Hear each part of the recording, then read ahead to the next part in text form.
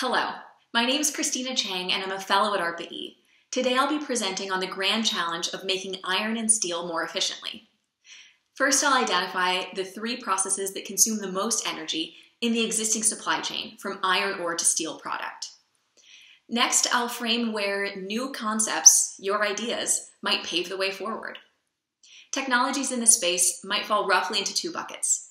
First, could new technologies make the existing supply chain cleaner? For example, could low carbon chemistries drop into existing iron making blast furnaces? Or second, can we reinvent the supply chain entirely, creating low carbon or low energy steel manufacturing techniques whose steels meet or exceed the design specifications of state of the art steels? If you're excited to innovate in this space, we'd love to hear from you. My colleague Dr. Zach Fang and I have left our emails on the final slide. Please connect with us. And thank you for joining. Can we drive emissions from the iron and steel industry down to zero? How does this rock, iron ore, become a tin coated steel soup can?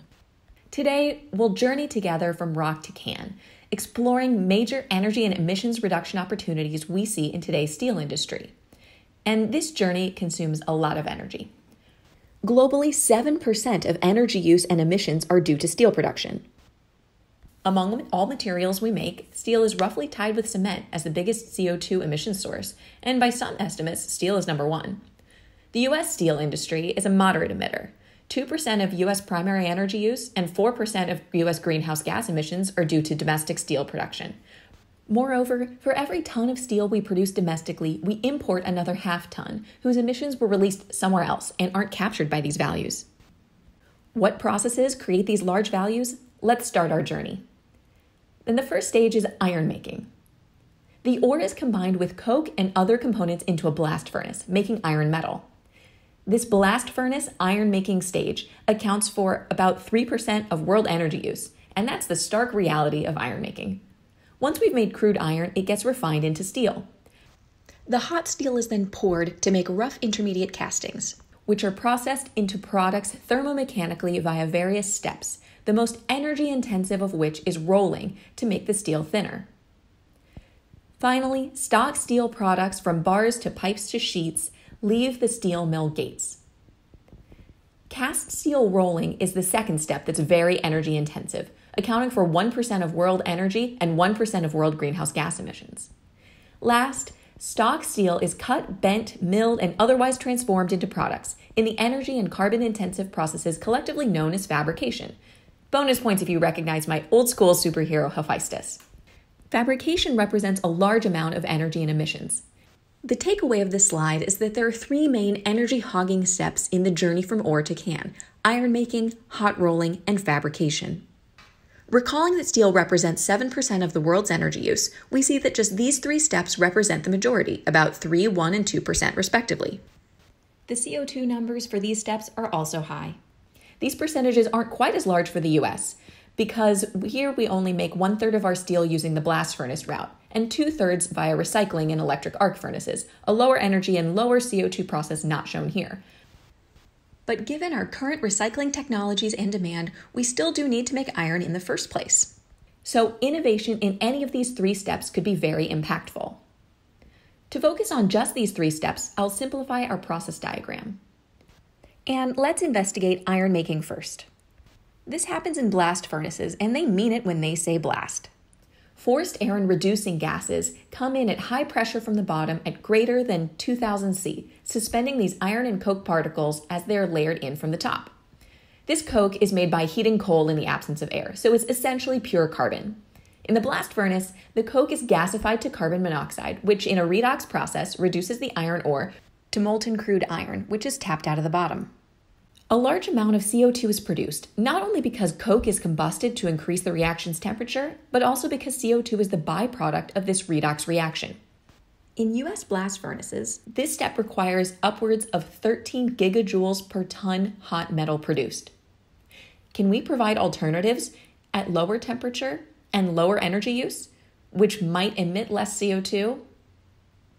The answer is yes, some progress has been made.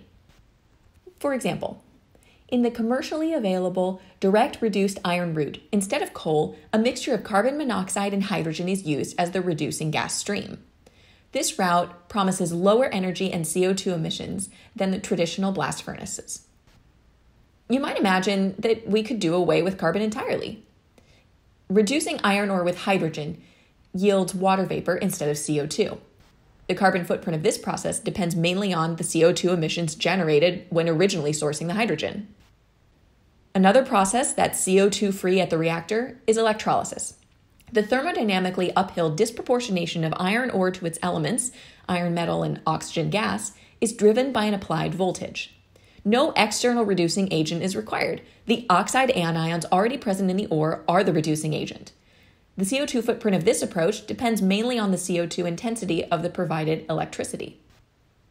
Other carbon based options are being considered. For example, pig iron is currently made using charcoal in Brazil, and some steel mills are currently or have plans to be outfitted with carbon capture units. But can we move farther faster? What is the lower limit of energy and CO2 we can achieve to make iron from ore? To begin to answer this question, let's conduct a thought experiment. The thermodynamic minimum energy to produce iron from ore is simply the negative of the standard Gibbs free energy of formation of iron ore. And that's just 6.6 gigajoules per ton iron at standard conditions.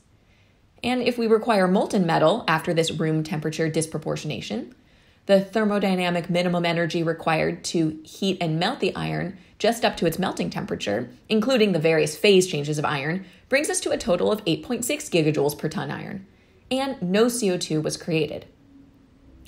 Now, this thought experiment is meant to be just that.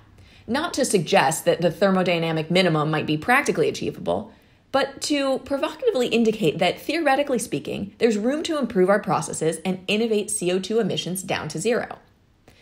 So, can we rethink how iron is produced? Can other reductants be proposed beyond those already being explored? The space of reducing agents is vast and includes gases, many inorganic compounds, hydrocarbons, including renewable and waste feedstocks, even metals. Reductants should be cheap and abundant enough to make a dent in the 80 megatons of steel made in the US. And ideally, the byproduct would be non toxic. Using the ore oxide anion itself may meet these criteria, as long as zero emissions energy could be provided. This brings us to a second area of innovation. To provide the energy for this reaction, can new energy sources or carriers be used? Thus far, combustion chemical energy and electricity have been explored. But could many other forms of energy be employed, like induction heating, solar energy, mechanical energy, or waste heat? And for any combination of energy source or reductant, the following considerations might be helpful to think about. Can the heat or temperature requirement be dramatically lowered? Or can heat generating processes be coupled with heat consuming processes? And finally, can new chemistries drop into existing iron and steel infrastructure, including blast furnaces? Returning to our overview, next let's focus on the process of turning this liquid hot metal into steel stock. Steel is squeezed between rolls that impart tens of millions of newtons of force, so the rolls are driven by powerful electric motors.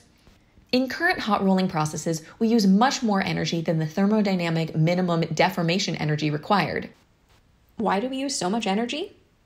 The steel slabs are rolled finer and finer multiple times, and size tolerances are checked at many stages. So that takes time, and much heat is lost to the environment and the skid, the conveyor belt, and has to be replenished along the way.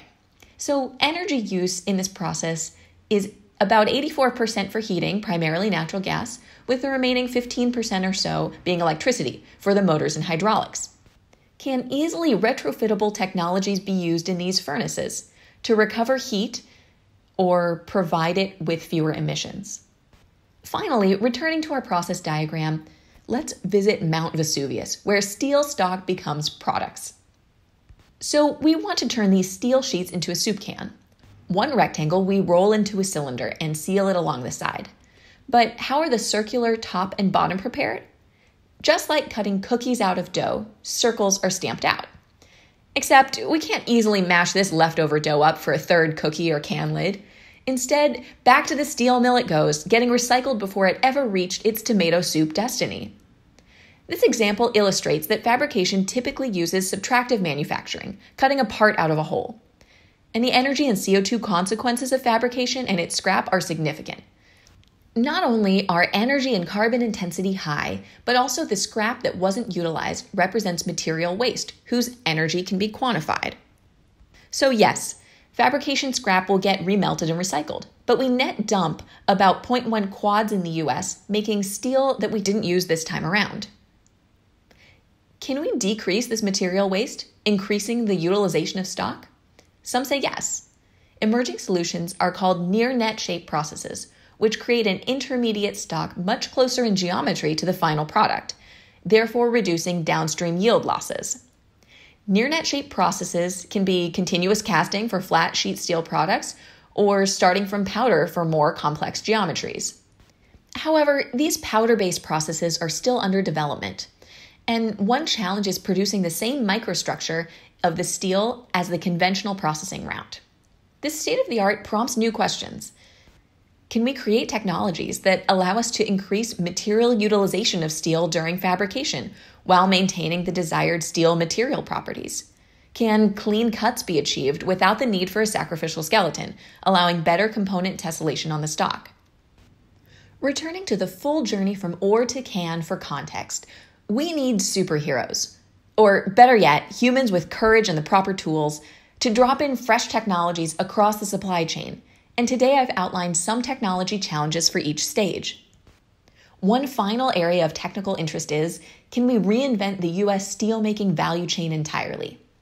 Can new low temperature processes convert ore directly to products, not having to go through traditional steel mills? Can near net shaped parts be made not from stock, but from ore or metal powders via new additive manufacturing processes? We're also interested in solutions to other energy and emissions impactful challenges in iron and steel making, which we didn't cover today.